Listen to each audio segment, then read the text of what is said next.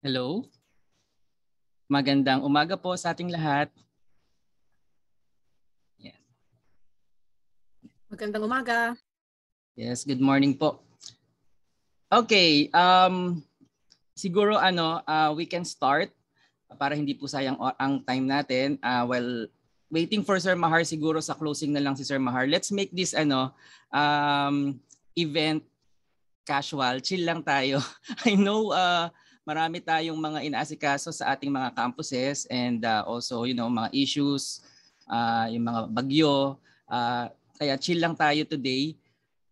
Ang ang, ang magiging um, agenda po natin for today's webinar ay I'm going to um, present some of the uh, parang ano lang pahapyaw na presentation about the UP Pandemic Response Team as a whole yung ating analytics team and then magkakaroon po tayo ng individual reports from the different campuses. Siguro ano, since nauna si Mayang, magsimula tayo sa South. So si Mayang ang isa sa pinaka nauna dito. Okay ba sa iyo Mayang? Gawin gawin natin.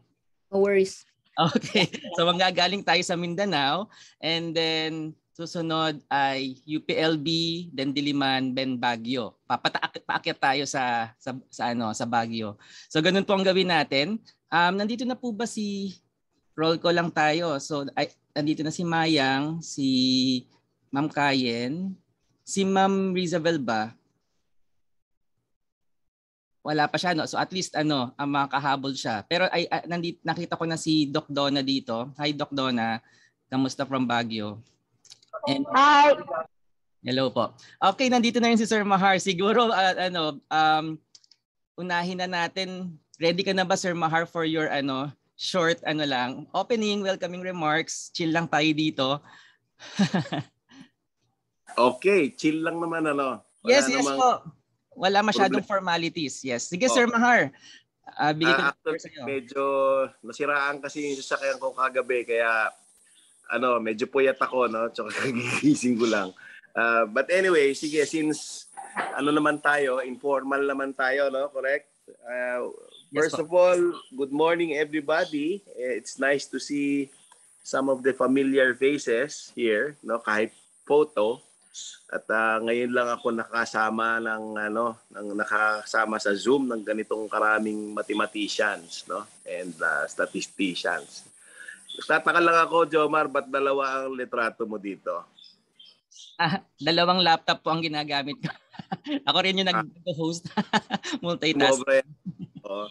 Uh, and uh, welcome po na nakikita ko si Father Nicanor Austriaco. Good morning po, sir. Ma Father. Mamaya, sir, mag-prayer tayo, ha? uh, anyway, nakakatuwa naman na ano, uh, good morning. Good morning, Father uh, nakakatuwa na nakasama ko and I know that you've been working hard for the past uh, two years. Uh, marami na rin kayong pong natulungan ng mga LGUs tsaka mga tao with the information that uh, you are providing. No? Uh, meron tayong mga na susuplayan ng mga information na tingin ko uh, hindi pala alam ko nagagamit nila no uh, hindi ko na lang sasabihin kung saan yon But uh, anyway, I hope that uh, the discussions here will be informative and uh, productive. It uh, is a is a venue where we can learn uh, from each other and uh, improve the work that uh, you have been doing for the past almost two years. Tama ba? Are we already two years? Yes, almost.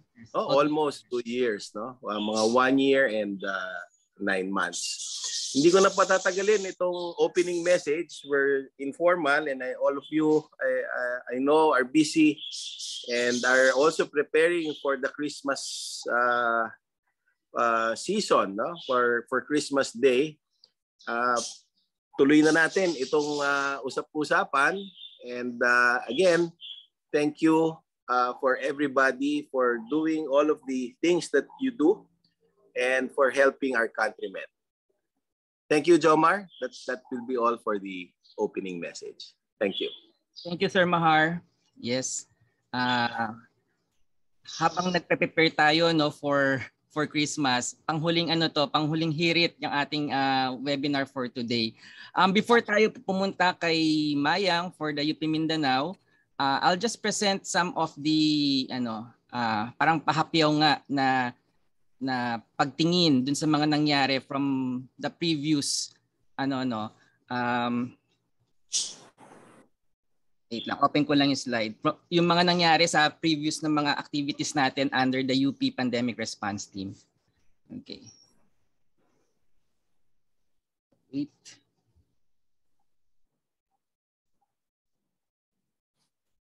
Mag-share screen lang po ako.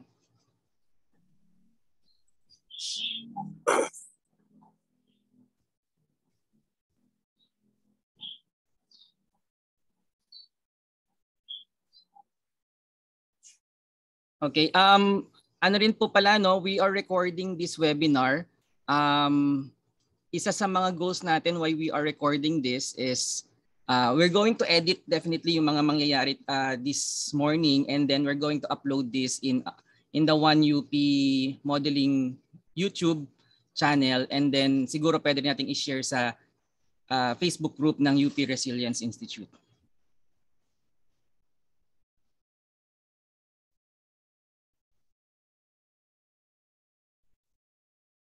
Okay. So,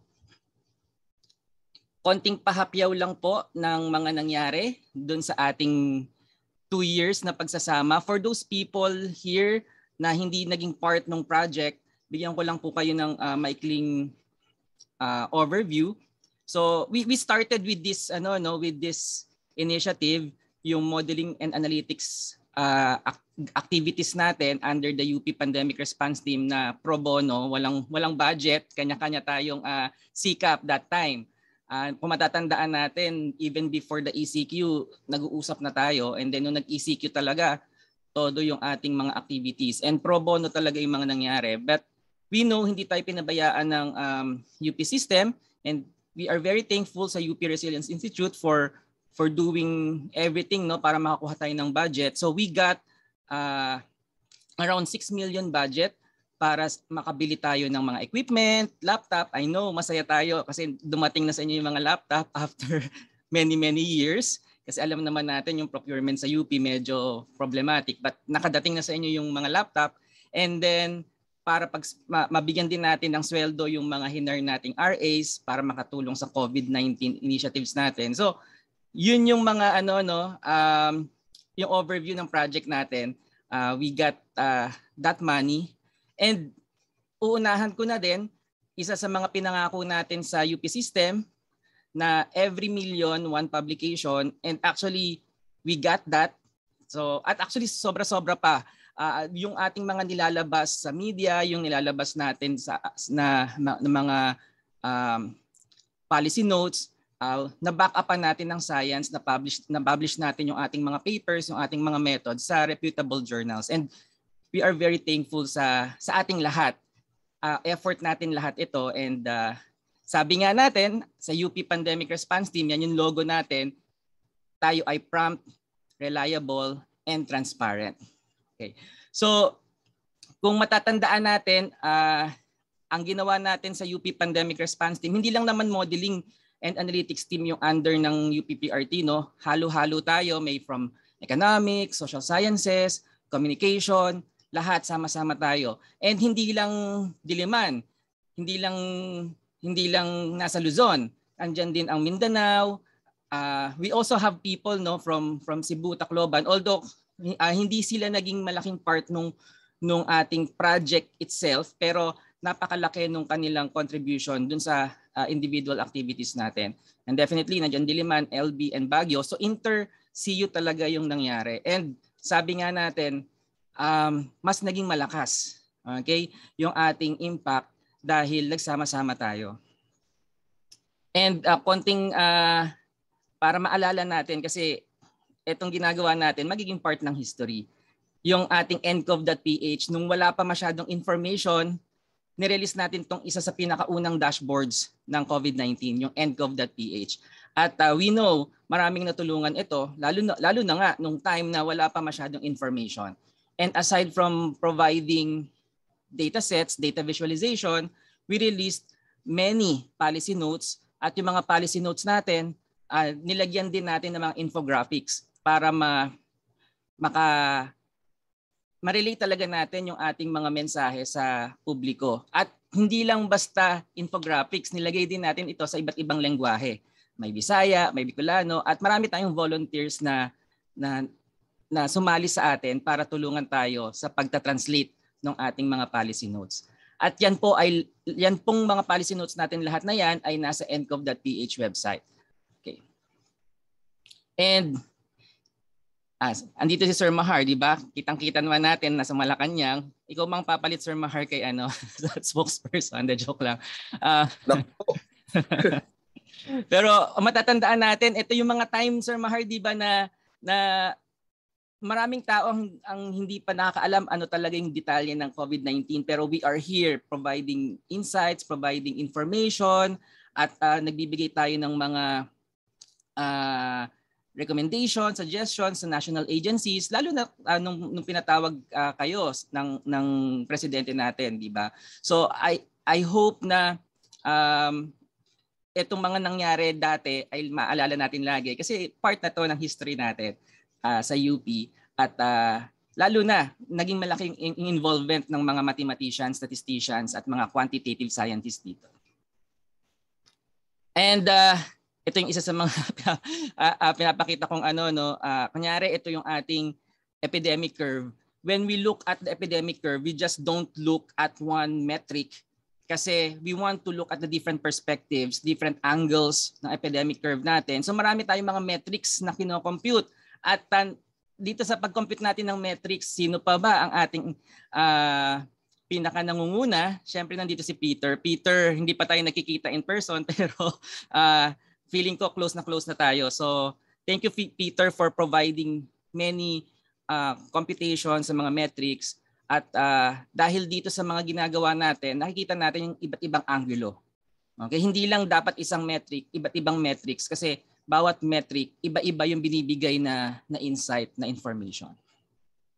Ayan, so andyan sila si Peter providing long-term and short, uh, uh, short-term projections, si Peter talaga yan, no? And then the, U, the, the UP Biomathematics team for the long-term projections. And I know uh, yung mga ibang miyembro natin dito may kanya-kanyang projections sa different uh, localities nila. Okay, so we makikita natin yan yung minsan din na gustong-gusto ng media na makita. Pero aside from providing long-term and short-term projections, sabi ko nga, um, lahat ng methods natin, uh, pina-peer review natin internally and also externally kaya na-publish natin sa mga journals.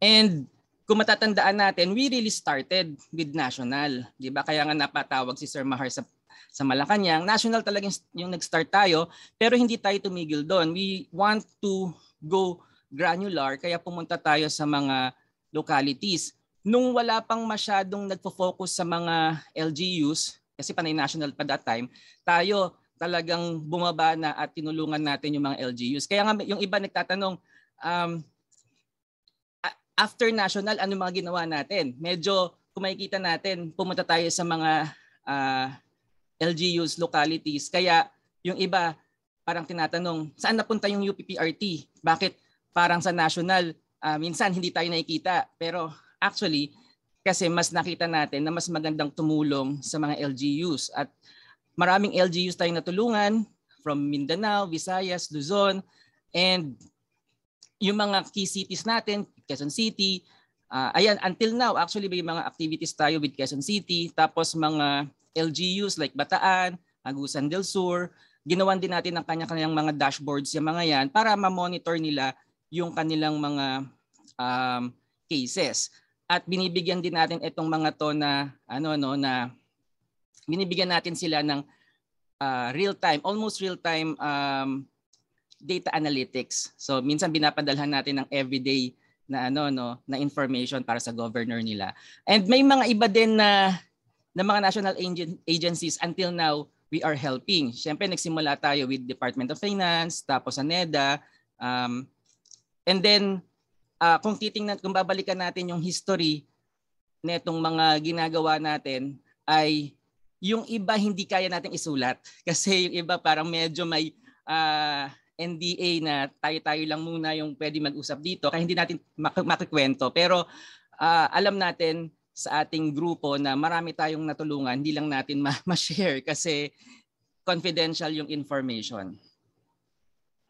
Ayan, and then we also had partnerships with um, international organizations like ADB. Uh, meron din tayong naging uh, collaboration with with UN Population uh, Population Fund at uh, marami tayong na-provide ng mga insights sa kanila regarding COVID-19 and yung impact ng COVID-19 sa socio-economic uh, situation ng Philippines. Tapos until now, marami tayong partnership. Tuloy-tuloy yung partnership natin with Z-League Family Foundation. We also have partnership with uh, Philippine Society uh, of Public Health Physicians at may ginawa tayong website. Actually, yung website na to nakalink din naman sa ncov.ph. At ang uh, pinakamalaking part din nito yung mga ginawa ni Peter, no? So, uh, lahat yan ay nagkaroon tayo ng partnership. Even before pa talaga dumating yung mga variants, na-establish na natin itong consortium na to. And then until now, uh, sabi natin hindi tayo titigil until recovery at siguro post-recovery nandito pa rin tayo para matulungan yung ating communities. At hindi na lang to about COVID, kundi kung ano pa yung magiging uh, uh, lessons na makukuha natin sa COVID para may apply let's say may future outbreak or sa ibang mga disasters baka uh, itong partnership natin, itong collaboration natin maging tuloy-tuloy. Uh, may mga pag-uusap tayo tuloy-tuloy with the LGUs, with the national agencies, and even now no meron tayong nilalabas na monthly uh, uptake yung UP take natin at um, dito natin nakikita kung ano yung nangyayari sa previous month. And itong mga nilalabas natin uh, every month, parang nagiging part na rin ng history natin. Kasi nare-record natin yan, nilalabas din yan ng UP system. And yung nagiging call natin lagi simula pa nung unang-una, open science, open data, especially in these times of crisis. And marami tayong maalala that time, di ba? Nagkaroon pa tayo ng somehow, ano ba to? Hindi naman, hindi naman pagkakatampuhan, di ba, with DOH dati kasi parang na-point out natin yung mga issues with data. Pero ang kagandahan naman doon, yung mga nilabas nating uh, criticisms ay naging maganda yung output kasi nag-improve talaga din yung data drop um, and hindi naman din tayo naging antagonistic with them. Actually, mas nag collaborate pa tayo talaga sa kanila. Cooperation talaga yung kailangan uh, uh, mangyari. Although syempre nag-start minsan kailangan mag-start yon by by uh, tanggapin kung ano yung mga criticisms. And we also had uh, many discussions about ethics. Kasama rin dito si Peter, si Darwin. Kaya wala si Darwin dito, no? pero si Darwin isa yan sa mga uh, uh, naging kasama rin natin sa ating data analytics team. At uh, marami tayong pinag- pinag-usapan about ethics, accountability, transparency. Kaya nagkaroon din tayo somehow ng, ng uh, mga pagmi-meet, pagmi-meeting dati about internal uh, uh, peer review, yung mga ganon. Okay, at hindi ko na po masyadong ano no patatagalin. Uh, I know marami tayong mga mathematicians modelers dito and thankfully before pa the pandemic we we had already yung parang bond. Okay, kasi nagkakaroon tayo ng IWOM, International Workshop on Mathematical Biology even even before the pandemic at nakatulong naman ito. Okay? Yeah, so I think uh, I'm going to end here and ibibigay ko na yung virtual floor kay Mayang. Mayang, ikaw na rin magpakilala sa mga miyembro mo. Okay, thank you. Yes, hello. Uh, I don't think nandito sila. I think ako lang. Okay lang, i-record naman natin to and then share natin yeah. para ma- mapanood nila. Thank you. Sige, um, let me just share my screen muna. Hold on. Um, So is that clear sa lahat? Nakikita nyo ba yung screen ko ngayon? Yes, yes. Mm-mm. It's presenting well, right? So maayong adlaw day kaninyong tanan. That means uh, good day to all. Um, I actually prepared a quite formal presentation kaya medyo uh, just bear with me na lang. So actually, uh, as the co-investigator of this project, I am really beyond grateful to share yung mga initiatives and outputs na ginawa namin sa UP Mindanao on COVID-19 pandem- pandemic response. Well, we already have seen yung urgency of providing active and evidence-based actions in flattening the curve. And this is exactly the reason why the experts in UP Mindanao joined the UP Resilience Institute Pandemic Response Team. Um, so this is the UPRI UP Mindanao team. Um, I think you see some familiar faces here. Um, as you can see, baka mapansin nyo si Dr. Manix Baha ay kasama namin. Uh, well, he is actually parang, he stands like as a consultant sa team namin. Um, he has been helping a lot on uh, the, the statistical modeling aspect of, of this project. So we are a team of UP Mindanao faculty, project staff, uh, research and project assistants, student assistants, and consultants from other departments, tsaka sa ibang constituent units.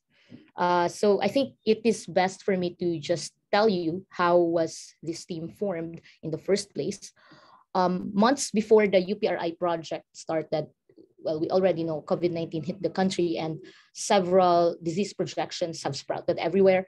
Kahit yung may kasama ng disease projection na magiging extinct na yung mga human beings.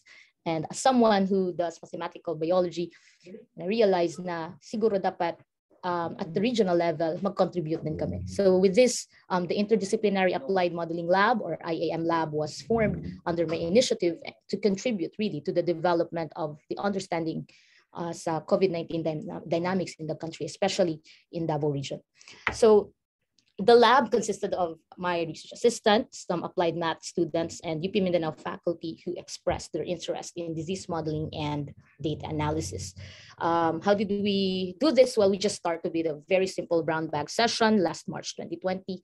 We discussed specific or various epidemiological models for COVID-19 transmission before the lockdown came in Davao City. And then this was then followed by series of online meetings no medyo na-fatigue na ako sa online meeting since March 2020 pa pala ito. And then uh, we discussed this uh, interesting research questions, ano yung mga mas mas importanteng mga questions na kailangang sagutin during that season. Okay, and those uh, questions actually formed the objectives of the lab. So from then on, we've done mathematical and statistical modeling just to try to understand how we could use yung early available data like the number of personal person under monitoring, if you remember that, PUMs, PUIs, and the publicly available patient level data. Uh, we were like thinking how to use them to project yung number of cases until July 2020 under different scenarios and to determine what patient information is linked to his or her survivability. And this resulted to uh, writing lots of technical notes or policy notes that later on made headlines locally. Eventually, yung initiatives na to led to further extension like gamification of the COVID situation and using social media to make the public and government agencies more aware about how we could use our mathematics to obtain insights on the dynamics of COVID-19, uh, specifically in the Davao region. Um, of course, uh, the good thing about doing this on social media is mm, naka ano rin, nakaka-encourage din sa iba. Like for example, um, some of my applied math students, they made use of their social media platform to provide updates on the geographical aspect of COVID-19 transmission in Davao City. Um, also, uh, just so you know, research works related to COVID-19 were presented by UP Mindanao students, RA, and faculty as e-posters on an international research conference that was held last October 2020. And uh, these e-posters bagged the first, second, and third place uh, in that event. At itong virtual conference na to has become a great opportunity for us to showcase to the public what we do in the IAM lab and that we exist. No? So with this events taking place, ang UPRI IAM has been formed. So the UPRI IAM group in Mindanao was divided into three research subgroups, namely the empirical modeling group, mechanistic modeling group, and the GIS and dashboard group. Uh, for the empirical modelers, uh, we have three, um, three objectives. Uh, first is to assess yung impact ng government interven interventions as well as other potential disease drivers to the daily reported number of COVID-19 cases. Second, we want to identify yung mga risk factors affecting COVID-19 positive patients uh, according sa severity nila. And third, we want to measure yung survivability of COVID-19 patients. Um, and just well, we are modelers, so how do we approach these objectives? Well, we just use different statistical modeling techniques. So for the first objective, we made use of uh, this so-called generalized linear autoregressive moving average model na hindi typically ginagamit kasi it's quite a new uh, technique. So it actually combines um, yung time series aspect and yung um, uh, regression aspect ng uh, ng system mo and zero inflated negative binomial. Secondly, we uh, for the second objective we used ordered logic and probit model. Well, that's like typical technique to um, identify um, the risks uh, factor affecting COVID-19 positive patients. And lastly, um, for the third objective, uh, we utilize yung Cox proportional hazards model just to check in survivability, survivability of COVID-19 patients. Um, I have to mention that these analyses make use of data involving profile of patients like sex, age, comorbidities. And as a result of that, na-realize namin na kailangan namin applyan ito ng ethics. So actually, na-delay yung pag-apply ng ethics. And uh, this in turn, although meron na kaming mga nasulat nito, kulang na lang is ma-approve you or ma-clear kami sa ethics no? Kasi nga ongoing pa yung review ng ethics na yon um also uh yeah so also those uh, those models uh, ginamitan rin namin nag-ano rin kami. Of course may write up kami niyan. And we're we're hoping to um we're actually sharing some some results no sa DOH uh, kahit hindi pa well published or reviewed yet share lang, konti lang, hindi masyadong marami. Um, on to the next uh, research group, we have the mechanistic modeling group where we aim to understand COVID-19 transmission dynamics using an epidemic model and use the model estimates to generate weekly and monthly forecast reports on COVID-19 cases, deaths, recoveries in the seven cities and provinces of Davao region. So in performing these objectives, we essentially ended up adopting the SEIR model as shown here on the slide, which was developed by the MODAP group or Mod Modeling and Application Group in UP Diliman led by Dr. Aurelia de los Reyes. Um, the, MODAP, the MODAP group initially used this model to fit the NCR data, but later on they modified the model because it did not consistently fit well due to the noisy nature of the NCR data. So instead of throwing the model, I actually asked Sir Au, I told him nga, na baka, ano, baka we could adopt the model and see if it fits well with Davao data. So in modeling or in model fitting and projections, rather, we considered COVID-19 data from um, provinces, uh, different provinces in Davao region, and then um, sineparate namin yung uh, Davao City tsaka yung Island Garden City of Samal. And since December 2020, uh, weekly and monthly forecasts of COVID-19 cases uh, were generated on a regular basis. So uh, this, what you're seeing on the uh, on the slides, just an example or sample plots showing um, yung forecast uh, using May uh, from May to June 2021 per province or city. Um, and our results are actually remarkable because although each of these provinces and cities, they differ in terms of the community quarantine levels and periods of implementation, the model's quality of fit is good, judging from the how, how the model captures the trend of the cases per area. And, and these are visually evident on the sample plots here.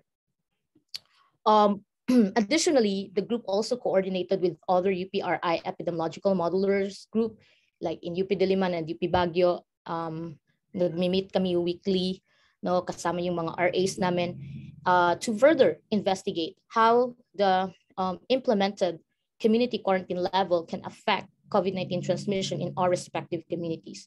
So the model was, yung initial model na pinakita ko earlier, was then modified to include a parameter which we call G, as you can see in the slide, and that, that parameter G represents how strict or loose the implementation of interventions are, um, and that the greater the value of G, the less strict the interventions, with one representing no intervention at all. So in UP Mindanao, what we did was made use of that model and then fit it to Davao City data and from there, we generated a 15-day forecast of how of, of the new and cumulative cases under four different values of G, corresponding to the different levels of community quarantine. So as you can see here, you will you will find that uh, the, the projected number of cases um, increases as we increase the value from uh, from a value of G rather from 0.25 to 1, which is really what we would expect. No? Kasi the, the more relaxed the quarantine, we expect higher cases. And consistent naman siya sa biology. Uh, moreover, when G is lowest, in this case 0.25, the model captures yung decreasing trend of the new cases. And then for the third research subgroup, yung GIS and dashboard group, we focused on creating a database in a form of, of a dashboard, um, dashboard for spatial maps. At saka mag nag-update rin kami ng mga uh, data analytics uh, like focusing on Davao region. Um, mostly ang ginawa namin dito ay uh, we we made all these maps and then yung mga necessary information at mga typical metric uh, ina-add on namin doon sa dashboard. So it's not really that similar to the dashboard that was shown earlier by Jomar uh, because mas mas nagfo-focus kami doon sa spatial uh, spatial temporal aspect ng ng transmission ng COVID. So just like the mechanistic modeling group, uh, this group also generate, generated weekly spatial maps on the distribution of COVID-19 cases, as well as the average daily attack rate or ADAR in the region using COVID-19 data that was provided to us by DOH Region 11. Moreover, um, so ito yung initial interface ng COVID-19 dashboard in Davao region and the dashboard is currently under the development by the NICER UPMIN program. And I'm going to mention to you what this NICER UPMIN program is. Okay, so now let me proceed with uh, one of our milestones. So yung UPRI, UPRI, UP Mindanao team actually published a paper in an ISI journal. And this study basically aims to understand how to make decisions about public health, uh, taking into account yung mga risks that that comes with them and by incorporating risk management tools and, and mga decision uh, making theory like AHP. And um, ang key finding ng paper na to, uh, it shows that if decision makers will prioritize reduction in fatalities by simply improving healthcare system, then COVID-19 contagion in Davao City can be controlled and eliminated in three months time. Uh, if you want to know more about the details of this uh, work, you may access the article on the Risk Analysis Journal website. For the working papers, we have finished the write-up for the empirical modeling objectives as stated previously. And um, here I'll just be sharing with you a little bit kung ano yung mga na, na ano namin na, na figure out namin. Well, um, the working paper actually highlights this graph showing the timeline of implementation of the government interventions and yung corresponding COVID-19 cases reported daily.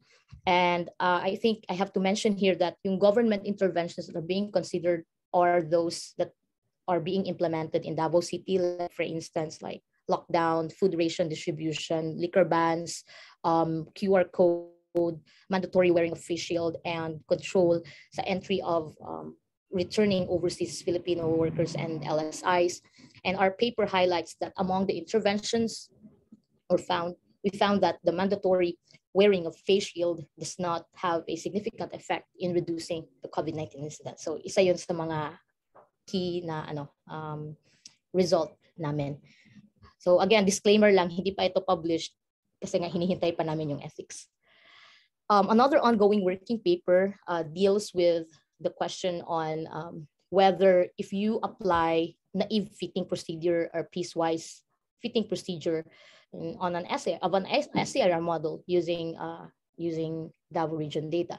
So what is this naive fitting approach? Well, naive fitting approach refers to fitting the data in a model without really considering you changing community quarantine level through time. While for piecewise fitting approach, we fit the data in a model by first you chop the data in terms of the community quarantine level implemented. So our results can be summed up in this plot showing how the two models compare with the actual data. And in this plot, we observe that the naive model is more likely to underfit as compared to the piecewise model, while yung piecewise model captures more or less yung actual cumulative cases during ECQ and GCQ, but then pagdating sa MGCQ, uh, well, it underfits the model. So, um, and underfits the data rather.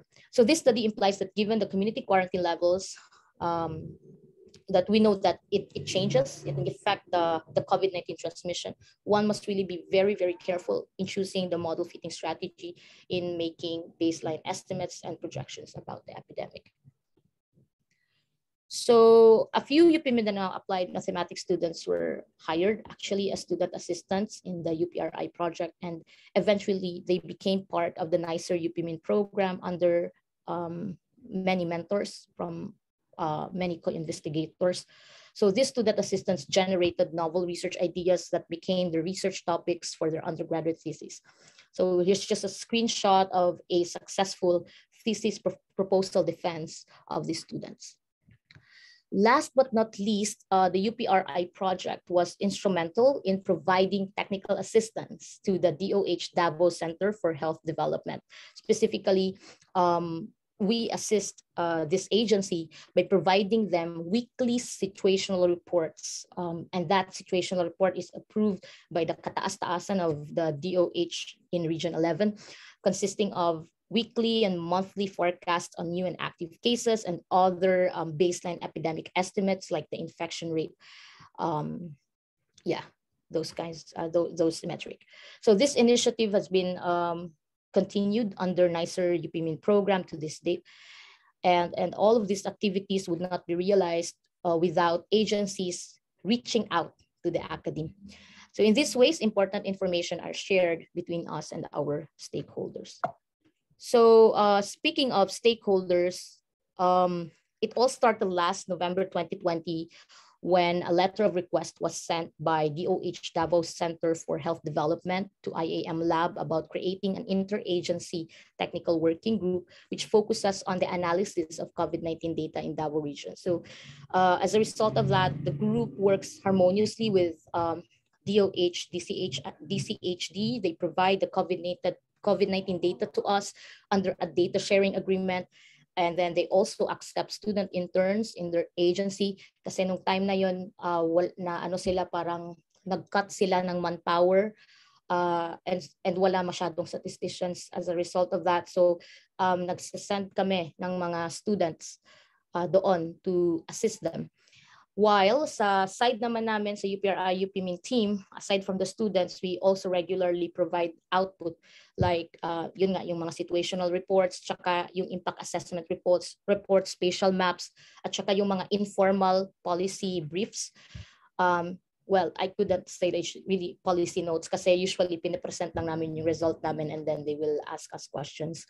So yun, uh, we, uh, so the, all those things to be synthesized into points of actions by the agency. So sila na mismo yung bahalang mag ano mag-implement no ang kailangan ang, ang pwede lang namin mag, magawa is to recommend and then they will be the ones to um, find ways how to implement yung mga nire-recommend namin so this collaborative effort reached actually into its first year this month since its realization and we are grateful for the Davao Center for Health Development for, for their continued trust with the team. And now, especially now that it is under uh, the NICER UPMIN program. So I've been mentioning this NICER UPMIN program. And so I think it is best for you to, to make you aware that, that the, the UPRI project paved the way for the first niche center in the regions for research and development in Mindanao on the use of quantitative methods to solve our health crisis. So this center is funded by the DOST's NICER program, thus the name, and it is dubbed as the Center for Applied Modeling, Data Analytics, and Bioinformatics for Decision Support Systems in Health. Um, yung budget niyan is around 60-ish million, I think almost 70 million. And we have four projects under this program. And just so you know, yung ongoing and spillover research ideas ushered by the UPRI project have been continued and extended under this program. So what is this program all about? Well, we have five uh, main objectives of this program. First, we want to enhance disease surveillance. How do we do that? We want to combine genomic and mathematical approaches in order to do that. Second is we want to foster interdisciplinary collaboration among quantitative and analysts and biologists in the region, as we understand that um, we have to go interdisciplinary if we want to prosper and we want to help uh, or to see or do good science. And the third is to offer solutions tailored for the diverse setting in Mindanao, where we account for the social cultural differences and other behavioral aspects or factors compared to Luzon and Visayas. And we want to act as a hub for innovation and technology development through capacity building and mentoring practitioners for interdisciplinary study of infectious disease. Kasi most of the, uh, if you come to think of it, kung tatanungin mo ilan yung modelers, ilan yung gumagawa ng, ng similar things na ginagawa natin, I would say na ano lang tayo, like ma, we can, we're very few. No? So um, because of this, we have to mentor the next generation. Ito yung ito talaga yung iniisip ko kasi um our, our knowledge won't last like we we grow old, right? So um we, we really need to to reach out to the next generation, mentor them kasi for sure mas marami pang mga diseases ang uh, ang darating. Uh, I don't know. I think I, I really think it's, it's gonna get worse. But yeah, so we just have to help the students and mentor them. Um, and lastly, we want to lead in interdisciplinary approaches for research, education, and outreach to overcome health crisis, especially in vulnerable country uh, communities. And with these targets in mind, ito yung naging tagline ng center, providing sustainable solutions to aid communities from the health threats in the region. And our, our, our approach for this to make uh, for this to, to happen is to, to make use of the plethora of available um, health data to our own advantage. Kasi marami tayong data sparse at saka all over the place. And, and what we want to do is how can we use this data to our own advantage and uh, with the aid of sophisticated state-of-the-art methodologies. Um, and for, for the information of everyone, we just finished year one of the program and we're, we're so glad to receive its approval to continue next year. Now, I want to end this presentation with this statement that actually crossed my mind while, while pondering on these initiatives. Um, ito yung nag-cross sa mind ko. In transcending beyond disciplines, we can do great science together. So this, this statement is actually an invitation no, to remove the bar barriers to keep us from, from having interdisciplinary collaboration. And with that, we are sure that uh, the scientific and evidence-based solutions that we intend to produce can be achieved and will greatly empower decision makers to make positive impact uh, to the community. So I'd like to acknowledge the UPRI IAM team for their utmost effort. So yung mga names nila nakalista dito in contributing their knowledge and skills to come up with the different approaches in helping uh, mitigate COVID-19 transmission in Davao region. I also would like to thank stress that one um, modeling and applications group from UP Diliman Institute of Math for the collaboration with our team and mentoring our uh, team members. And lastly, I would like to thank you, the UP Resilience Institute for the support to the research groups from different constituent units of the UP system, especially to Dr. Jomo Rabahante for being the trailblazer no, and giving us the opportunity to join the One UP uh, pandemic response team. Once again, maayong buntag sa tanan ug daghang salamat sa inyo ha. Yes, thank you Mayang. Uh, congratulations sa Nicer project. Sana pag face-to-face makabisita kami ulit niyan sa Davao. Lagi. Yeah. Actually speaking of that, um ano, may support rin sa UP system. Uh, tumulong sila by providing us funds to build the nicer infrastructure facility. Yes. So exciting exciting times ahead. Ito talaga ang I think I would say yung main main thing about this UPRI project ba na salamat sa UPRI project dahil doon nagka-center sa UP Mindanao. Yes, yeah. thank you Mayang. Um siguro ano for Mayang tsaka doon sa mga magpe-present mamaya hintayin muna kayo no? Sa, sa dulo na lang tayo mag Q&A and magkwentuhan para mas mas ano ba? Mas casual mas relaxed. Okay so now um, I'm going to move to so from Mindanao punta tayo ng Los Baños. Uh, magpapakita lang po ako ng video. Uh, ito po yung ipe-present ng UPLB team. Ito pong video na to ay uh, ito rin yung pinresent namin sa um, Gawad Edo Campion. The UPLB team won the Gawad Edo Campion this year at ito po yung pinresent namin sa kanila. Pero to give justice kasi yung iba alam niyo naman minsan sa sa media minsan ako lang lagi yung na-interview pero to give justice dun sa mga tao behind ng mga outputs namin babasahin ko yung mga pangalan no so aside sa akin, Dr. Edita Jose ang aming director, Dr. Ariel Babiera, Dr. Micah Krishna A. Gavina, Dr. Ranzivil Rojas Villanueva, Dr. Gerald Tubay, si Sir Henaro Quaresma, Dylan Talabis, Christian Alvin Buhat. Si, si, si, si Sir Buhat, isa talaga siya sa mga main researchers namin. Although ngayon, currently si Sir Buhat ay uh, nasa University of Houston na, but isa talaga siya sa mga naging uh, ano namin, taga-push sa research na to sa COVID-19. Si Diane Carmelisa Quaresma. We also have people, not just the modelers for epidemiology, but we also have people doing risk analysis and also for insurance, yung mga actuaries natin. So, uh, sinama natin sila kasi we know because this is disease, no? Uh, Ma'am Destiny Lutero, Kemuel Kindala, Monica Torres na isa rin sa mga ano number one na researchers natin Ed Francis Felix, Jimel Gamilla, Angelo Marasigan, Jessa Duero, Eleanor Hemida, Jacob Malagit, Jonathan Mamplata, Yancy Olave, Kairel Van Verano, Mark Lexter De Lara, Ben Paul De La Cruz, Asra May Kabiri, and John Mark Lampos. At ito po ay galing sa UPLB but we also have people uh, na nag-work with us coming from, you know, uh, different UP campuses. Isa na dyan si Louis D uh, na baka ngayon ay uh, nasa PGH kasi is doc, uh, isa siyang doktor na nag-intern ngayon sa PGH so baka busy siya ngayon. Okay, so I'm going to share this video. Wait lang po.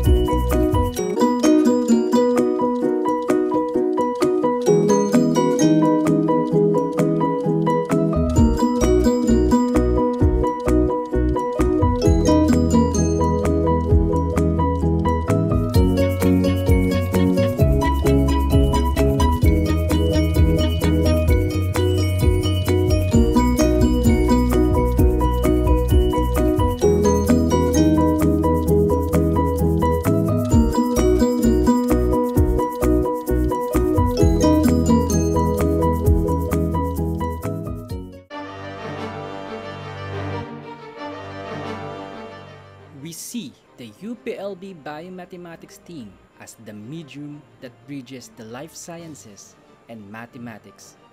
We envision the team to be a leader and a model of interdisciplinary research collaboration.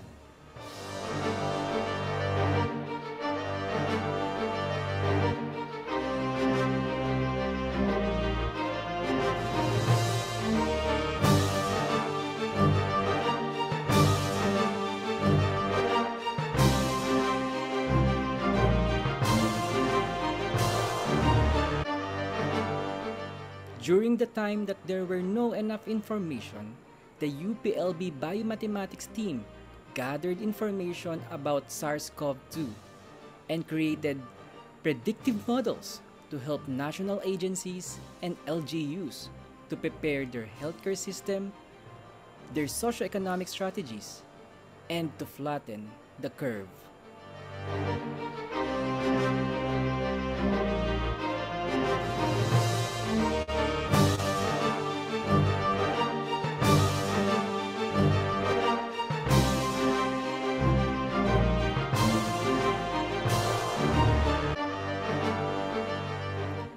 This pandemic, we strive for evidence based policymaking.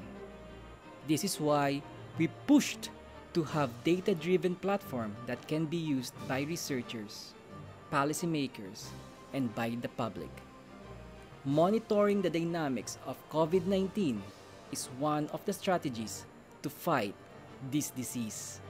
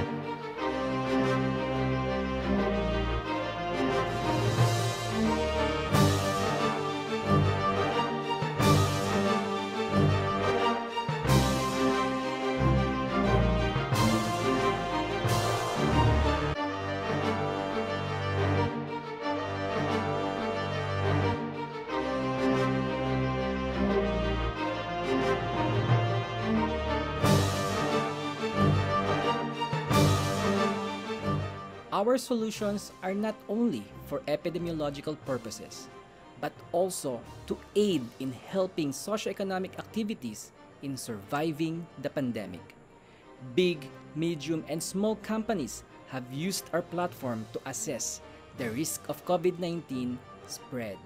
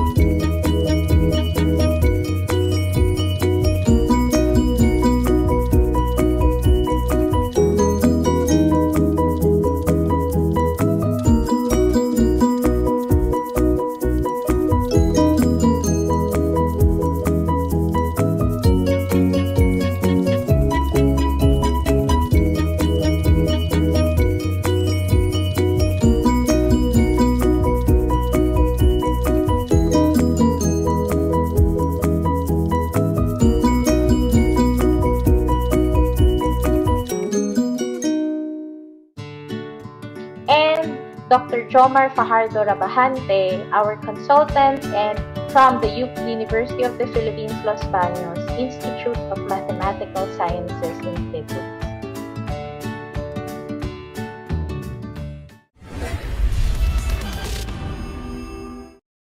Ngayong nasa GCQ na ang maraming lugar sa Pilipinas kabilang na ang Metro Manila, hindi may iwasan na mas maraming tao na ang lumalabas. Kaya naman nag-develop ng calculator ang isang grupo kung saan pwede mong makompute kung ilan ang posibleng mahawa ng COVID-19 sa pupuntahang lugar. Ang Event R Calculator.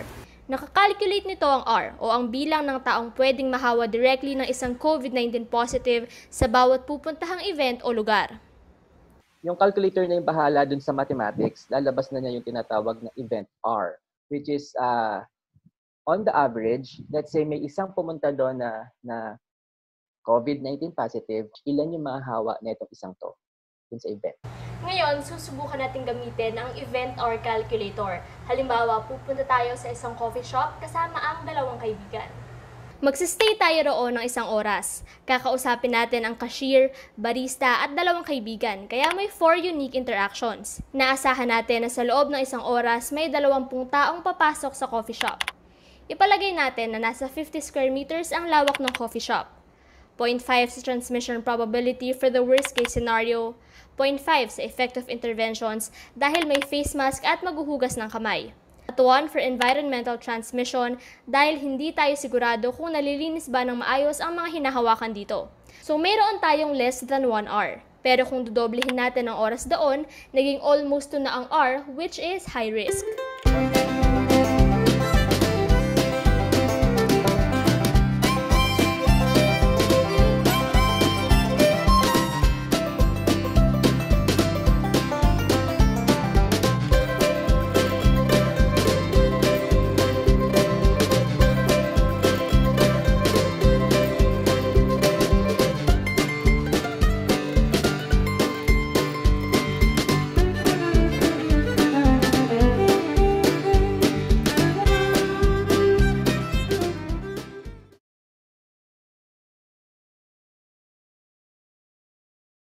Okay, yes. yes, yes, yes.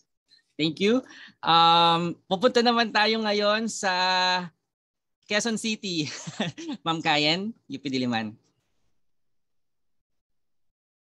Hi. Good morning, everyone. Good morning, Mahar, UPRI co researchers. I hope everyone has had their coffee on this uh, relatively cool morning. Thank you, Jomar.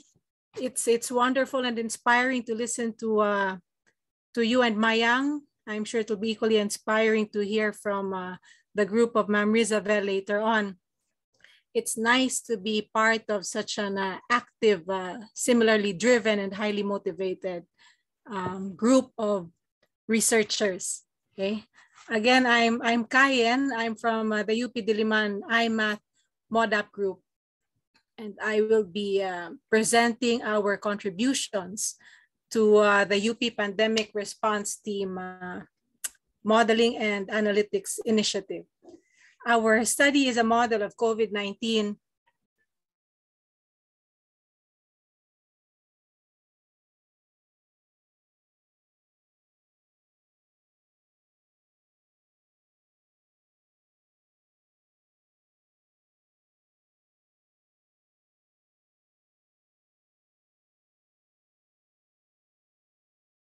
challenges as related earlier, gaya ng mga tungkol sa data, tungkol sa ganyan, minabuti na lang namin bilang nandito din lang sa NCR na mag-concentrate sa region na to.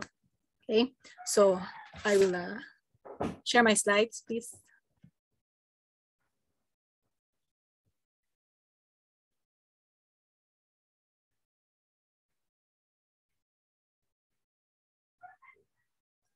Jomar, may I share my slides? Ah, pwede na po ma'am. Yes po. Yeah. Saan?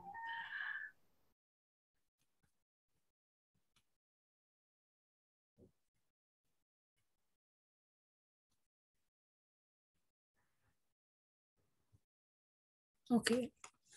So I'm also grateful to uh, Mayang for giving, giving already a sneak preview of our model. Dito sa talk na gagawin ko ngayong umaga, I will be providing more details to that particular model. Okay. So here also is a quick introduction of our group. This is the Modeling and Applications Group, um, nicknamed MODAP of the Institute of Mathematics, UP Diliman. Okay, right now we are composed of five uh, PhDs and six PhD students, no, with a with a wide range of research interests uh, in mathematical modeling. We uh, we study research, uh, um, rather reaction network theory, biomedical and biochemical modeling. Um, merong uh, nagme-major na sa amin sa social networks, merong uh, nasa pharmacokinetics and dynamics, and of course, there's uh, the, the study of the hour, infectious disease spread. Okay? And hindi pa po naka-share yung screen ng PowerPoint. Ay, hindi pa? Uh, folder lang po yung naka-share. Ay, sorry, sorry. It's it's shown on my screen already. Sandali lang ha. Ah, pag PowerPoint show, yun yata napindot ko. Ayaw niya ng PowerPoint show. Nakapo.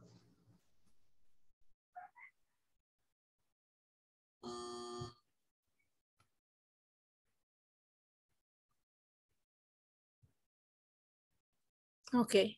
Is this better? This works now? Wala pa rin, ma'am. Pa- uh, folder.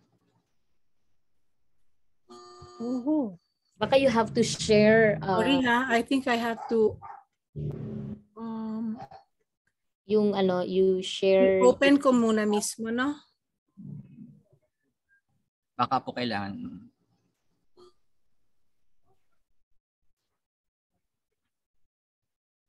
Okay, you think after more than a year, sanay na ako dito, no? Pero sandali lang.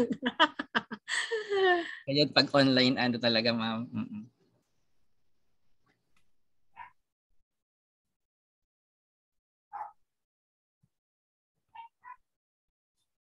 This one. Okay na po. Okay na. Ay, salamat. Okay. so here here I am now uh, again babalikan ko yung introduction no so now you can see the slides um uh, here are the members of the MODAP group of uh, UP Diliman IMath there are five uh, PhDs okay so first there's uh, there's our uh, Professor Emeritus Ma'am Polly C marami siguro sa inyo naging estudyante niya and uh, our mover and shaker pagdating dito sa modeling is uh, Aurelio, Dr. Au de los Reyes. Au and Brian are right now in the in the biomedical uh, group in the new Institute of Research in uh, this is a new Institute of Research in uh, Daejeon, South Korea. Vicky is doing her postdoc in Konkuk right now. No, Vicky, another uh, quite active uh, PhD member of the MODAP group. Okay? And then uh, equally active, we call them our super juniors. I, I see some of them here. Olive Ray and Ima are here. No? Um, some of them are not able to join because of some uh, internet challenges, but uh, they are who we call our very active set and very, very supportive, very helpful uh, super juniors. No? you talk about the numerics and stuff, uh, sila yung uh, largely responsible for those. Okay. So, tutuloy ko lang. So, with the COVID pandemic, no, this moved the group no, na may kanya-kanya originally na researches to urgently focus on the pandemic no, to study it as one entire group. Okay, so at MODAP, we decided to do an assessment of the disease spread in NCR okay, and the dynamics brought about by the different community quarantines. So we thought we would learn from this. We took the events of 2020 as our period of learning. And then the NCR we took as the population we would learn from.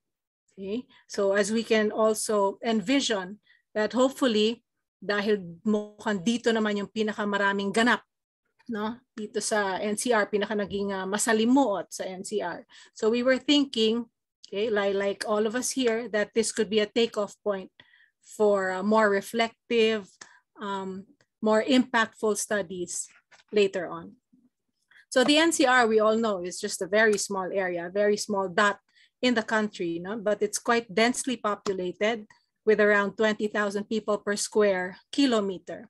Okay, so thus it, it's not really surprising if it happened to be or happened to have the largest share of the COVID-19 cases in the country.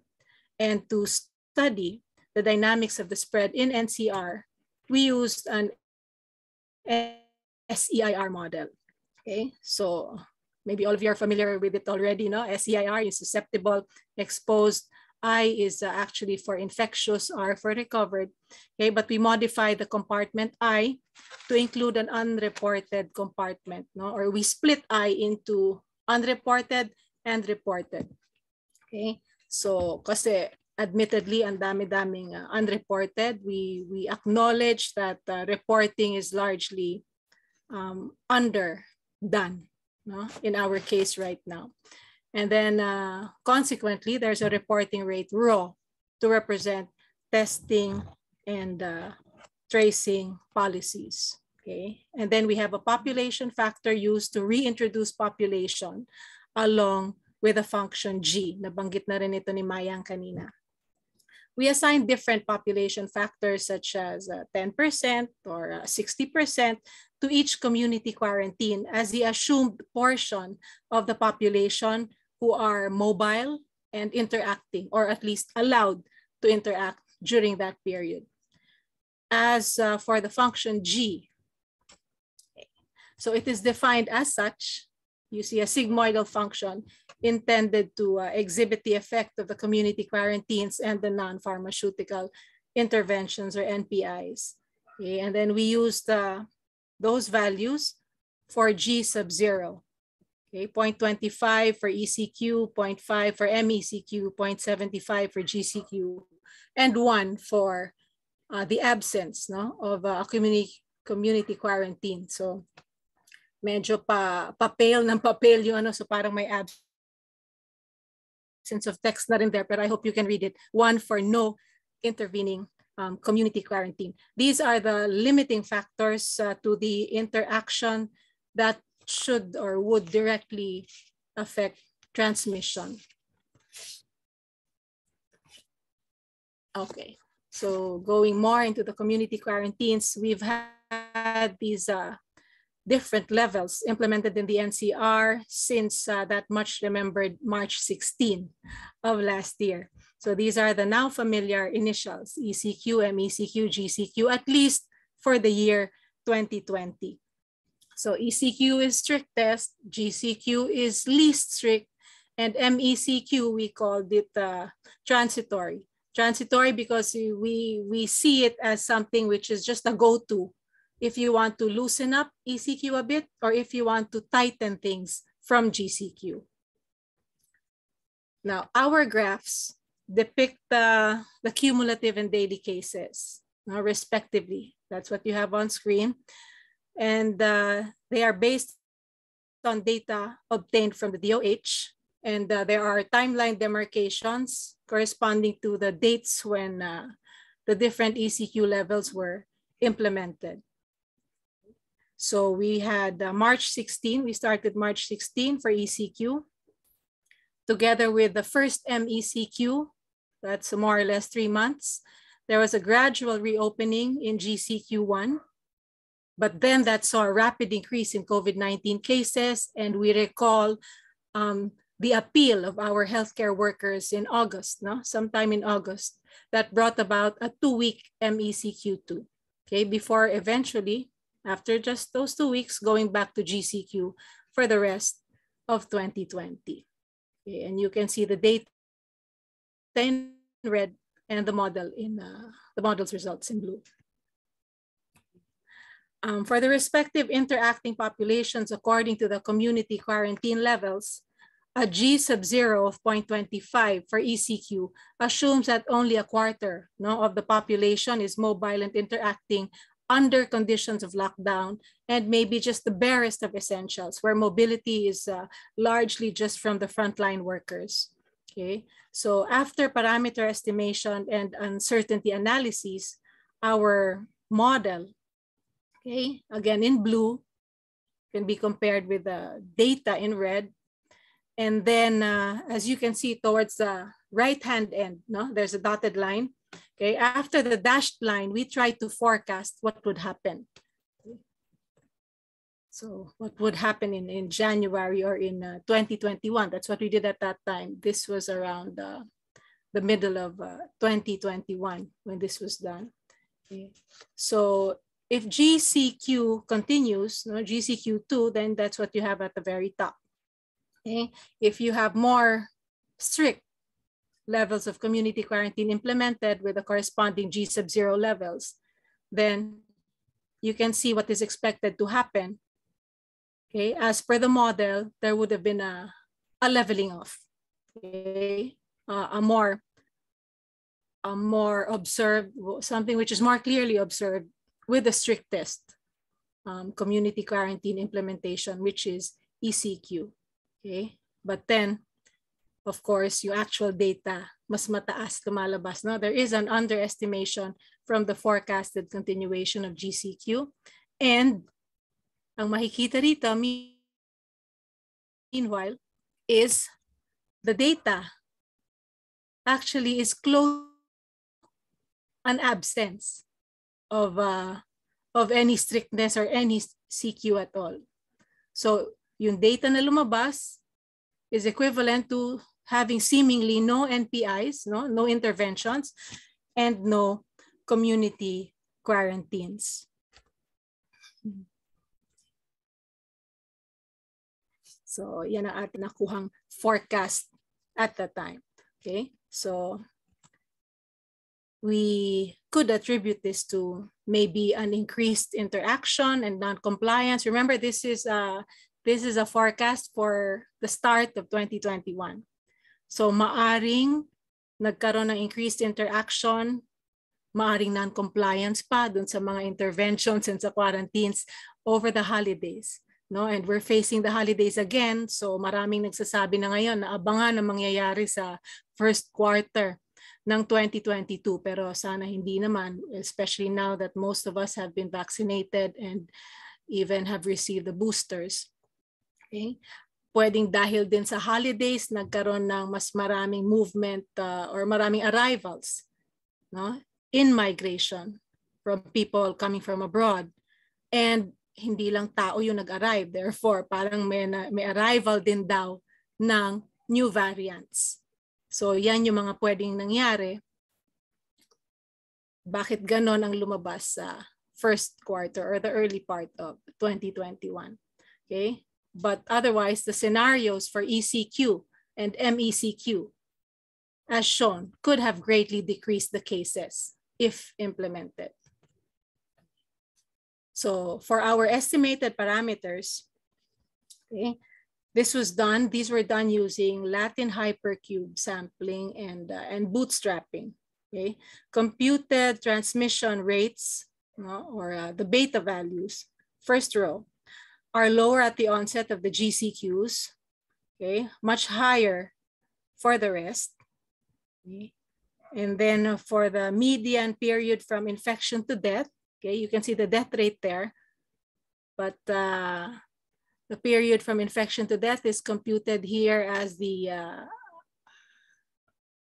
what's this called? The reciprocal of mu. Okay, so taken as a reciprocal, andyan tayo. 4 days for ECQ, 11 for MECQ1, 64 for GCQ1, 6 for MECQ2, 7 for GCQ2.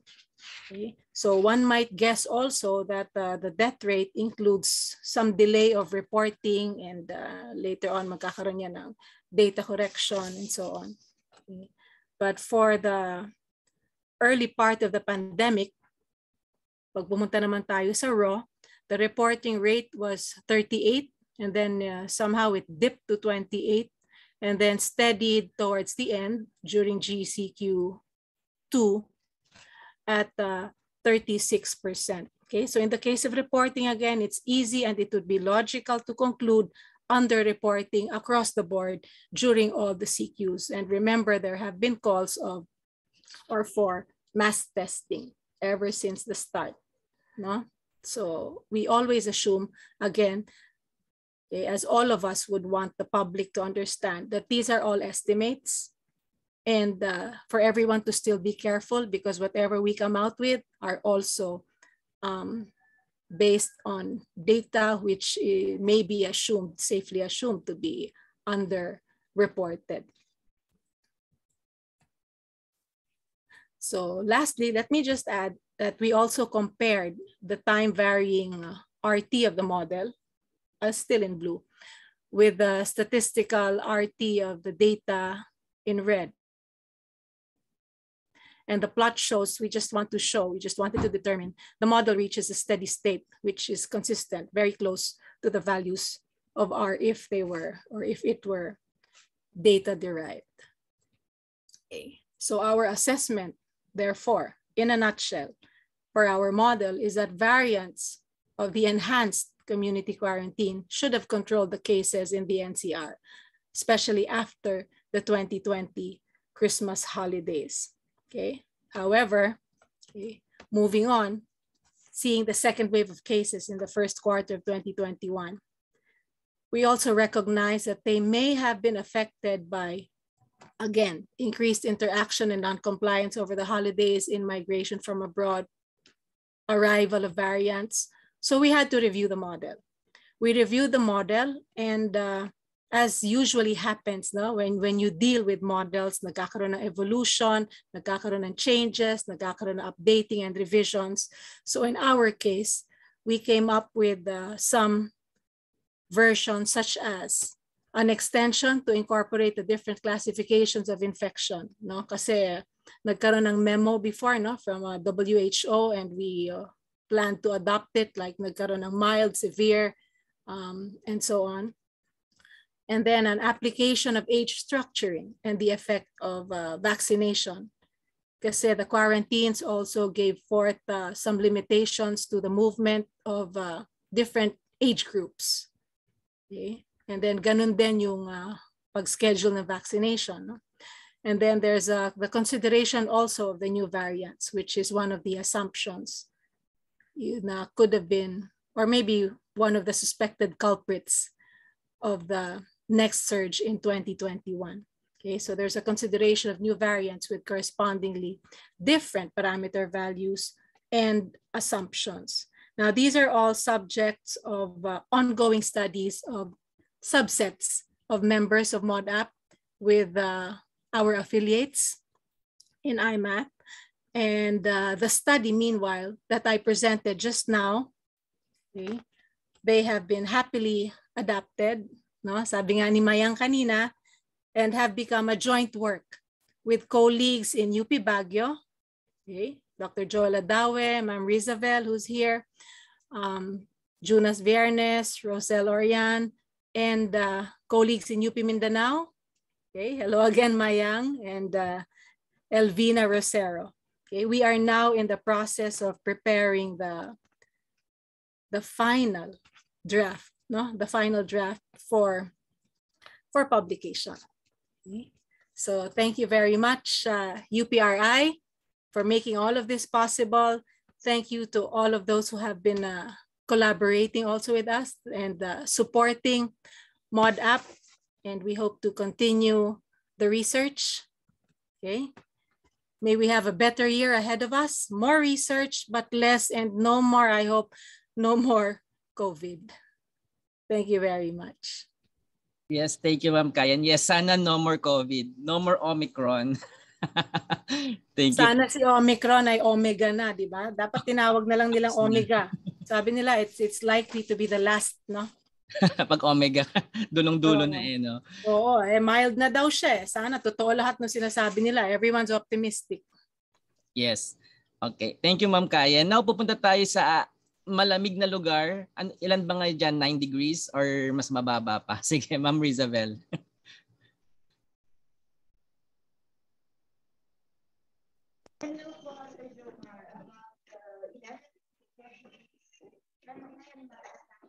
Yes, okay na po Ma'am Ma'am Rizabel. Mm-hmm.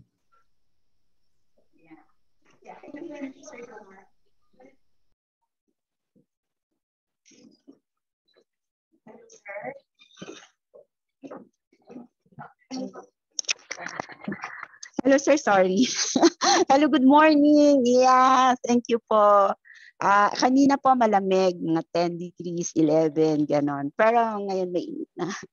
Nasa workshop po ako, quality assessment ng uh, BS Mathematics. So anyway, uh, meron naman kaming time for this. Okay po. Uh, yeah, thank you sa uh, sa time para ma-share din namin yung ginawa namin for the UPRI. Okay, mag-share tayo. Ay. So.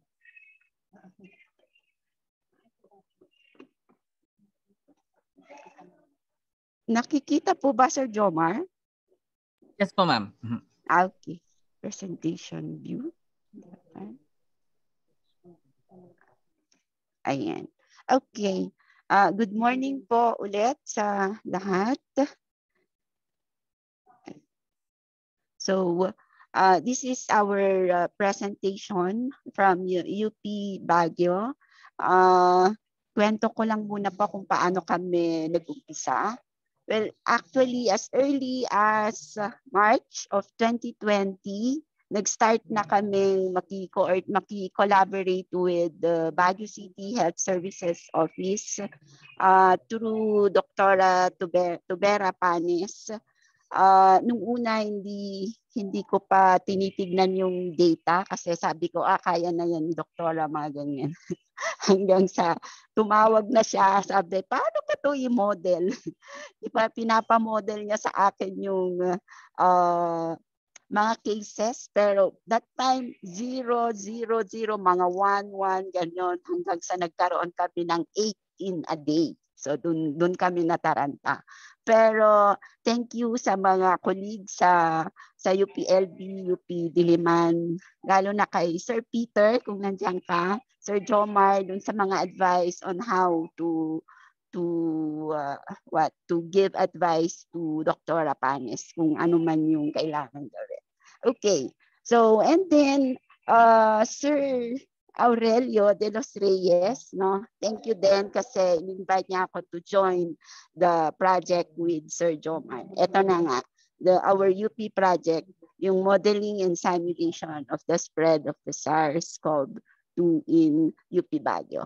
So, salamat Ma'am Kayen at explain mo na yung uh, concepts ng ginawa nating model. So, uh, all I have to do is to present you the final model from UP Baguio or the Baguio City cases. Okay po. So, uh, my group uh, includes uh, Joel Adawe, uh, Jonas Paul Biernes, and our RA is uh, uh, Rosel Orian. However, we have a volunteer group to handle this exploratory data analysis, or we call it EDA, of the Baguio City COVID-19 cases. And we do this daily. Kasi daily na nagbibigay ng updates to the Baguio City Mayor. So halos hindi na po kami natutulog nung panahon na umakyat yung Delta variant dito sa Baguio. That was about uh, mga April, nag-start na yan. Pero umakyat siya nung September. Natutulog na kami mga madaling araw, mga 1 a.m. in the morning just to submit the daily reports na kailangan ni, ni Mayor. Okay. Ah, ano Okay, so ito yung group with the volunteers. Si Junas is uh, a part of the UPRI project. Criselda Libatica is a volunteer. Shilden is also a volunteer with Joseph, uh, April Raya, and uh, Dr. Rapanes is a part of the project. So may I present the, well, kung masasalubong nyo sila, ito sila. Mga batang-bata pa, kami yung pinakamatanda. This uh, is me. And uh, uh, we have Dr. Panes here from the Baguio City Health Services Office. So ang data namin ay directly from the LGU. Uh, hindi namin ginagamit yung DOH uh, data. And uh, bine-verify siya every day. So if we need to to uh, what to delete some of the cases, nagagawa pa namin. Uh, nababago din namin yung onset dates at saka yung uh, mga iba pang details ng mga cases. So, Ma'am Kayen, ito na po yung aming model na ginawa namin uh, for UP Baguio. Ito po ay hanggang December 2020. So this is uh, the fit. Okay. Ito, nag-start kami sa August hanggang dito December 2020 kasi eh, yun yung nakita namin na maganda yung uh, data. Kasi dito sa early of this part, medyo may mga zero value so hindi siya actually maganda na uh, I mean it's these are extreme uh, points no so napili namin itong time interval na to so according to the different uh, uh, CQs. So meron dito MBCQ, 1, 2, and then 3, and then uh, 4. Okay. And we saw that the, the model actually uh, fits the data. Although alam naman natin na uh, hindi naman talaga ganon ka-accurate yung data na nakukuha natin. Okay. So, uh, yung, yung EDA na ginagawa namin is a project to contribute to the city's active monitoring of COVID-19 by providing relative data analysis, graphs, tables, BIS maps, and insights for the City Health Office in aiding the decision and policy making of the LGU. And uh, as I have said, uh, we partner with the BCHSO. And this started in March 2020. Actually, hanggang ngayon. So, mamaya, dahil nangulit na naman si Doktora.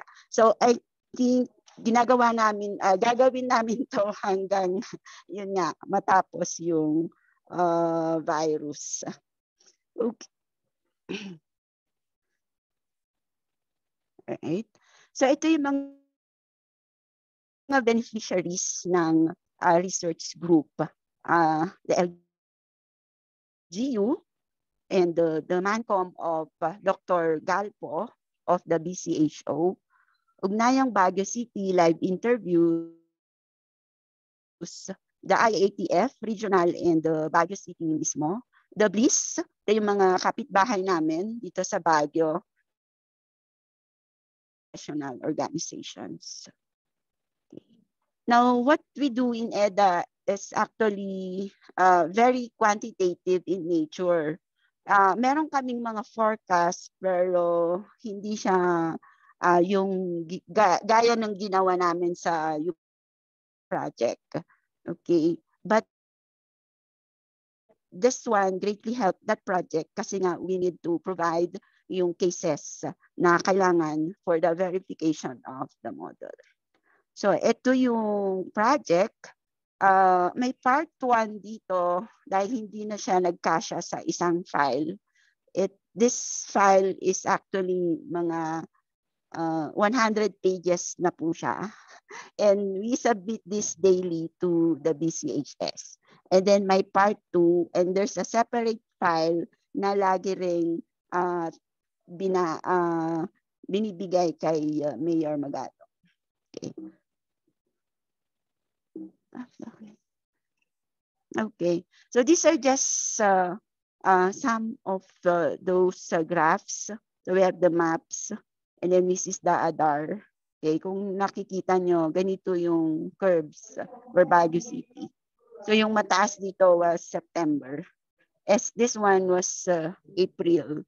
Okay, so pababa naman na siya. Okay. And uh, ito rin yung importanteng uh, data na binibigay namin daily. And uh, dito nila kinukuha yung uh, or what I mean is they they base the executive orders in Baguio City para uh, mas uh, uh, data driven yung mga actions in the city. Okay? So kung makikita niyo yung mga not fully vax, meron talaga tayong basihan kung ilan yung namam na walang vaccines, no? And this data uh, included of uh, 21 only. Okay, so a total of 355 was uh, reported since August 2018. Kahit may vaccine na, pero well, you can see here that kahit vaccinated na tayo, pwede pa rin siyang maging uh, mortality.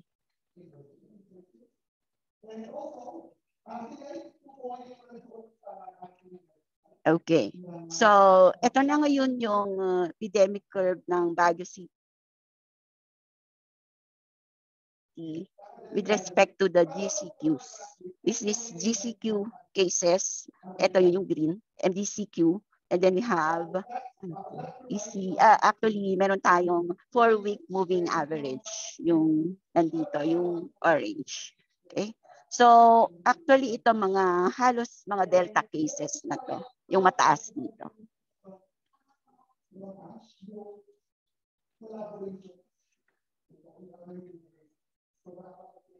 Okay, so these are some of the uh, public disseminations uh,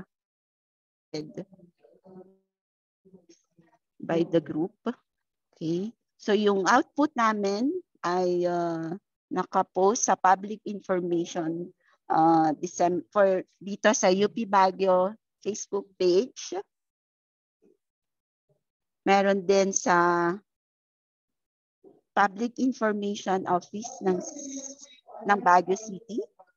And these are just a few of them.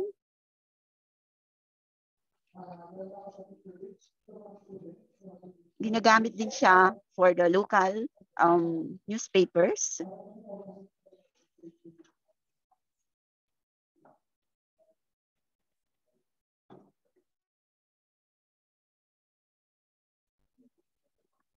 Yan. So these are just uh, ano, uh, screenshots.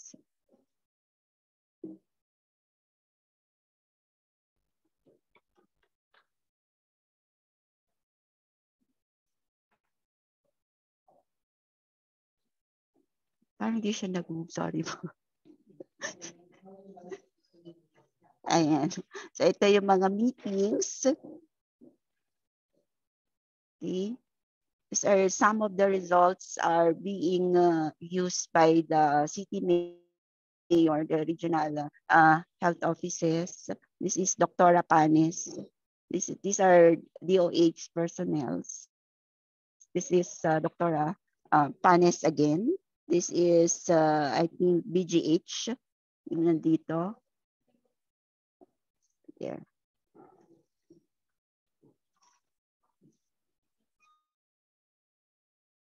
Okay. And uh, dahil doon, well, masaya kami because we had a certificate of appreciation from the city mayor. So, and uh, uh, we had a chance to meet the, the Vice President uh, Lenny. Yeah. Okay. Uh, we also have enhancement for teaching and research using the the COVID data analysis. We have uh, presentations and publications, international.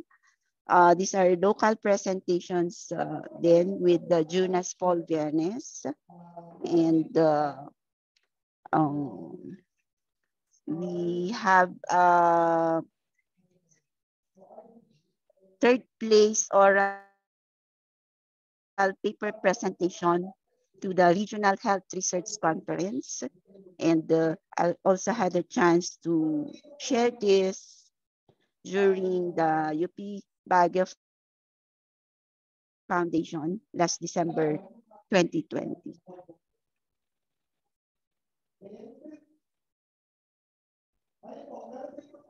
Okay, and these are papers done by my students, uh, both in undergrad and graduate uh, courses. So,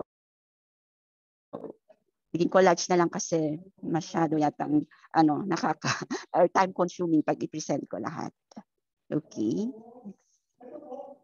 All right. So, uh, uh, madami nang napuntahan yung aming EDA. Well, of course, we're very thankful to the UPRI project kasi ang daming nagawa. Kahit very short yon and uh, na, na project, pero I think we have to continue till matapos na itong COVID na to. Okay. Uh, uh, ikwento ko na lang. So aside from the the the, the awards we had from the city mayor, meron din akong na-receive na award from UP Baguio. I had a special citation award from the chancellor. Uh, naging uh, um, regional volunteer awardee ako ng ng CAR. And uh, the last one was uh, the Gawad Pangulo for Research and Public Service. And for that, maraming salamat po sa UPRI. Yun lang po, Sir Jomar. Thank you so much. Yes, thank you, ma'am. Sana makaakit ulit kami dyan sa Baguio. okay. So, um, siguro ano, for 10 minutes siguro baka may mga questions yung iba or may gusto pang idagdag na kwentuhan. Yeah. Pwede kayo may tanong kay Ma'am Mayang, kay Ma'am Kayen, kay Ma'am Rizabel. Yeah. Um, ito pong ginagawa nating webinar na to is uh, to cap off yung ating project. Uh, yeah, maikli lang yung project no, natapos na siya ng November, but I think kahit tapos na yung project, tuloy-tuloy pa rin yung efforts natin. Actually, tuloy-tuloy talaga hanggang hindi pa nag-zero ang COVID no, sa so tuloy-tuloy. So maraming salamat po. Uh, meron po bang gustong magtanong or magkwento? Siguro mamayang kamusta ang Mindanao ngayon? So far okay naman na no? Kahit nagbagyo or kamusta ang COVID doon? Diyan. Nandito ako sa Butuan. so, uh, walang tubig until now. Oh. Kasi um, hindi ka naliligo. De joke lang. naligo ako. Kasi naligo ako ng mineral water. Nag-order ako ng maraming uh, gallons ng mineral water. o, di pala ang sikreto ng ano? Yung ba ang sikreto ng maganda mong hair? Oh, oh, yeah. Actually, this is inspired from Queen's Gambit. I don't know if you've seen ah, that. Yeah. Oh, oh, um, yeah, so uh, in fairness lang dito sa Butuan City, bumababa yung cases. At uh, saka, I don't know, it's just going down. Pundo yung mall, like, ang walang COVID. Ang difference lang ay nag-face mask lahat ng mga tao. So I'm not sure if it's the same situation there. Um, so yeah, uh, sa totoo lang, mas na-focus ngayon ang attention sa pagtulong sa mga nabahaan at na, mm. na biktima ng typhoon. Uh, I think tomorrow we will be going to Surigao uh, to help. Uh, may actually may staff ako sa nicer program na ubos lahat yung kanilang oh. live. Oo. So yeah, it, it's very challenging no uh, seeing all this um, disaster and then yung ano yung emotional na ano aspect uh, running a program running a, a project tapos yung mga staff mo are are not in good shape because of what happened. Namatayan rin pa isang staff uh, sa ano hmm. dahil sa COVID last that was last May ba yun or June. yeah, so yun ito yung challenging talaga.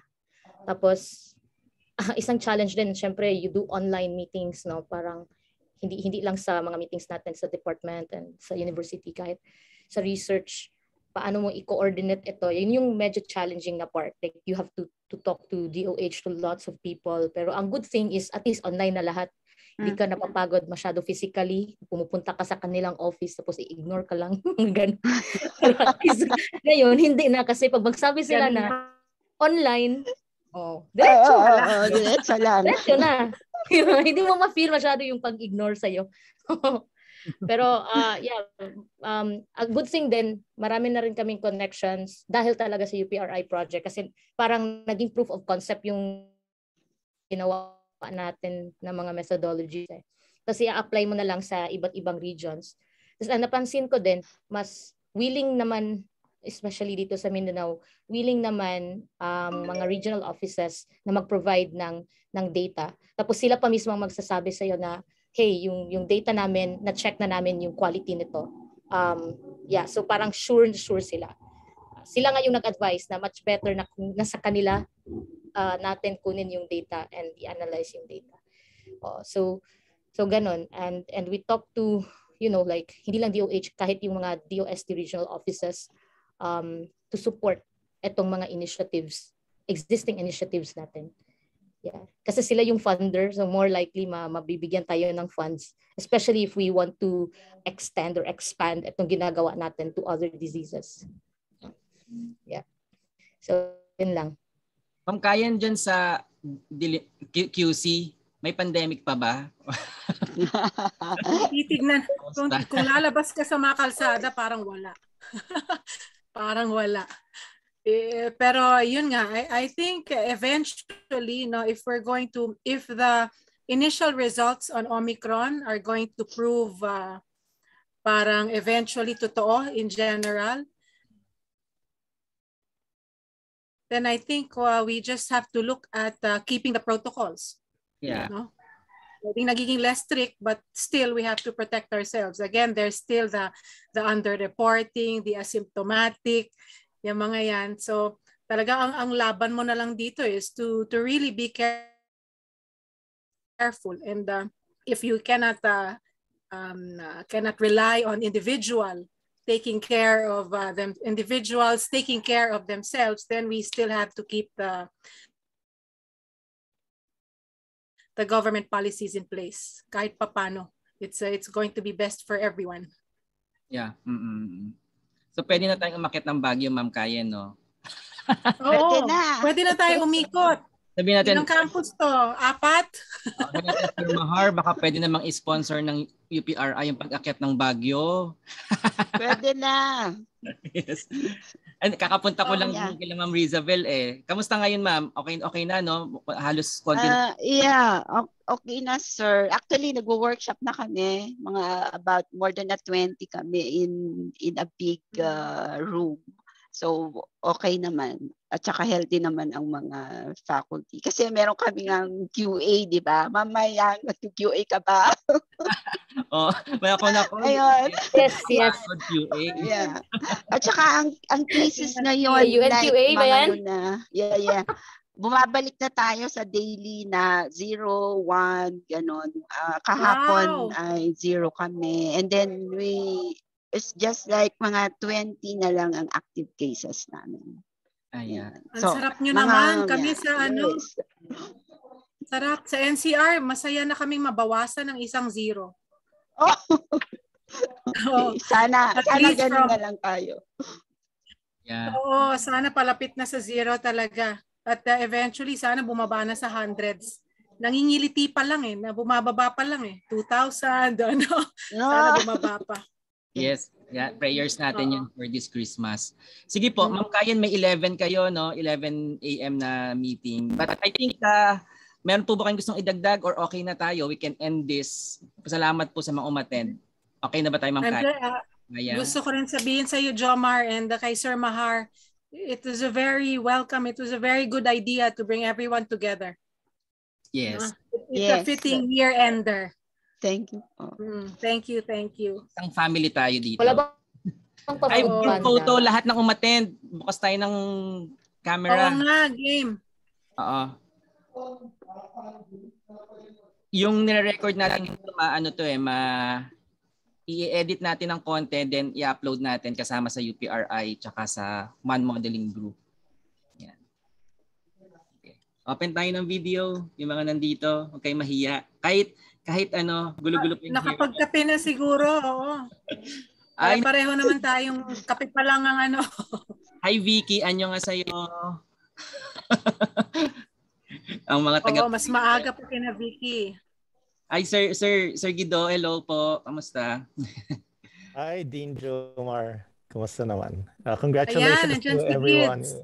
Hello yes, po. congratulations to UPRI and to uh, your initiatives sa mga research na magaganda. Thank you po. Mhm. May gusto pa po bang humabol sa video? Counting once? Counting twice? Si Sir Mahar yata nagda-drive pa eh. Hi Sir Manix, nasa Mindanao ka pa ba ngayon? Nasa Manila na? Wala na sa Mindanao. Nabigay ko na yung mga ano, Mga laptops. equipment. Thank you po. Thank Salamat, Sir Manix. Naging delivery boy si Sir Manix. eh. Ayan. Okay na po ba tayo? O, magka-count na ako. One, two, three, smile. Okay, may humabol pa si Sir Mahar. Okay. Okay. sm- Yay! One, two, three. Okay. Thank you very much po. At uh, i-upload po natin itong mga videos. Jomar, Jomar. Sir Mahar. Sulat ulit kayo ng proposal. Baka sakaling 2022 may follow-up tayo. Sige sir, although kinakabahan pa ako sa mga procurement natin kasi may mga for reimbursement pa ako pero go. Sige. Uh, announcement yun for everybody, ha? Ah. Okay, Merry, Merry Christmas. Christmas. Merry Christmas. Merry Christmas. Merry Thank Christmas you. Peter. Mayong Pasko sa tanan. Peter. Merry Christmas. Happy New Year. Sige po. Yeah. Bye God bye. bless you all. Bless. Bye-bye. A better year ahead. Yeah.